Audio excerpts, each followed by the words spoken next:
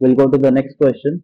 I'm getting an error sometime while walking in details panel uh, get removed where I can find the details panel for MetaHuman Blueprint to target animation to fix. So uh, I think you are not able to get the details panel in the MetaHuman Blueprint. Like suppose this blueprint I open up, like this details panel gets disclosed. So what you can do, go to Windows and uh, layer, or you can just add the details panel to over here as well, like details panel. Then it will automatically show.